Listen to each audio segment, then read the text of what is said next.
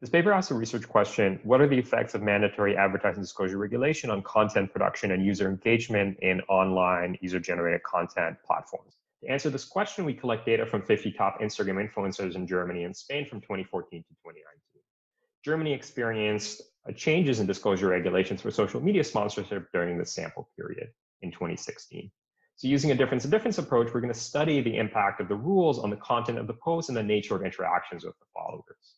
So on the content side, we can actually measure whether the post included the suggested disclosure term and show that there's a substantial adoption of disclosure. And then we use an approach that's based on a machine learning algorithm, natural language processing to assess the likelihood that a post is sponsored. We show that sponsored content used increased in Germany after regulations were introduced. And we also showed that followers may have been negatively affected as evidenced by a decrease in the number of followers per influencer and a decrease in the engagement of, of followers with posts.